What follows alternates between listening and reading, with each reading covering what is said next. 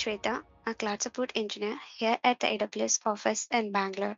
Sometimes customers ask me if it's possible to allow users to sign in through Google when using an Amazon Cognito user pool. Amazon Cognito allows you to add social identity providers such as Google or Facebook using federation settings on the Amazon Cognito user pools. However, before we create a social IDP with Amazon Cognito, we must register our application with Google to receive a client ID and a client secret. So let's get started. First, access your Google API console with your Google account.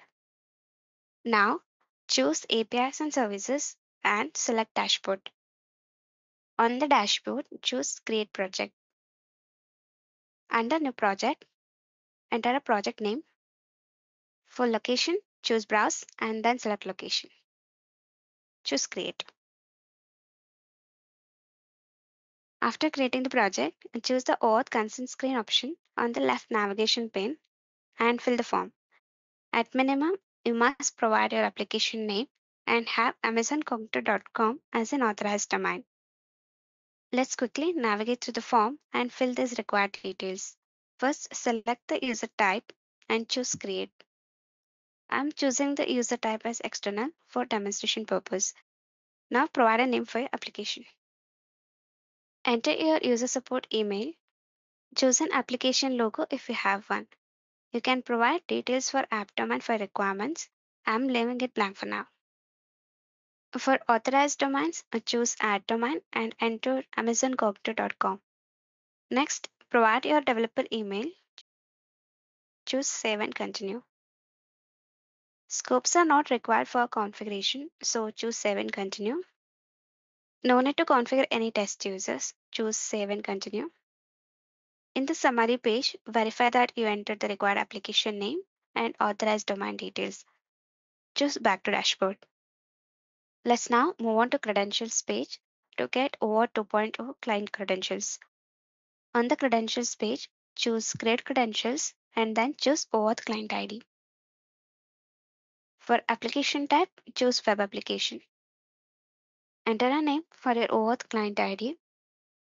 We'll enter the authorized JavaScript origin later after we configure our Amazon Cognito user pool. Choose Create to create an OAuth client.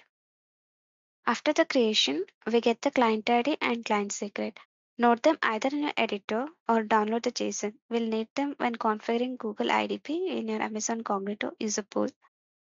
Let's now configure Amazon Cognito user pool with default settings. Sign into your AWS Management Console and navigate to Amazon Cognito dashboard. Select Add User Directories to your app in the drop-down list and then choose Create User Pool. Select Federated Identity Providers checkbox and choose the attributes in your user pool that are used to sign in. I'm choosing email for this demonstration. Next, choose Google for federated sign-in options and choose Next. Let's keep the default password policy. Select the type of MFA method if you want to have MFA authentication for your Amazon Cognito users. This doesn't apply for federated users. Let's keep the default selection for account recovery. Choose Next. Choose the settings for self-service sign-up and attribute verification and account confirmation for your requirements. I'm using the default settings. Select the attributes you want to have on your user pool. Email is automatically selected for me based on my previous selections of the configuration. Choose next. For email setting, let's choose send email with Cognito for now. Choose next. Paste the client ID and secret you noted earlier from Google. Enter profile email OpenID for authorized scopes. Select email from the drop-down list under Google attribute for mapping the usable attribute. Choose next. Enter a domain name. The entered domain names are dynamically checked for its availability. Make sure that the domain name you entered is available. Provide a name for your app client. Enter application's callback URL. This is the URL of the page where your user is redirected to after a successful authentication. For testing purposes, I'm using google.com as a callback URL. Expand Advanced App Client Settings. For OAuth 2.2 grant types, choose only implicit grant for now. Let's leave the default settings for remaining. Choose Next. Review all settings. Copy the complete domain name and keep it in your note. It is required for Google Federation configuration. Choose Create User Pool.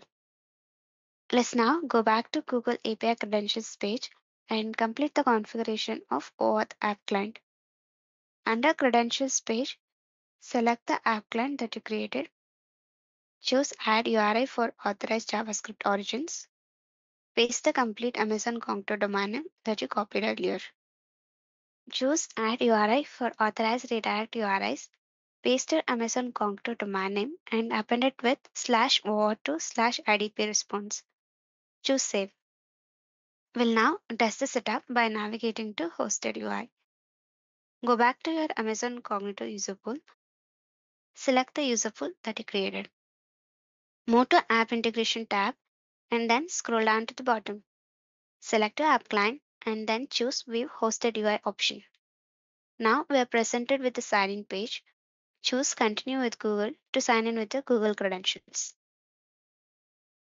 After successful authentication, you are redirected to the callback URL that you set on your app client.